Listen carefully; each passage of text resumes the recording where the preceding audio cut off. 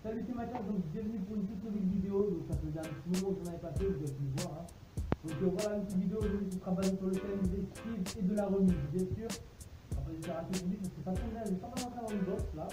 Donc je vais vous faire partager un petit truc. Donc euh, le travail d'esquive et de remise. Donc ce sera pas un travail d'esquive que je vais adapter au karaté, mais ce sera un travail d'esquive que je vais mettre en boxe. Et tu vas pouvoir comment euh, arriver à, être puissant sur la remise. Et ça pourra aider au karaté bien sûr, puisque bon les bon. Allez c'est parti Ok, donc salut, c'est Mathias pour, la- pour le travail d'esquive. Donc on aura un travail tout simplement de transfert de poids du corps pour l'esquive. On va partir en karaté comme à Zenkutsu avant, arrière et milieu. Ou même le transfert de corps pour les feintes, c'est la même chose. Donc le petit travail, c'est travail de remise et d'esquive. Donc ici, boum, et venir remiser après. On lâche le point.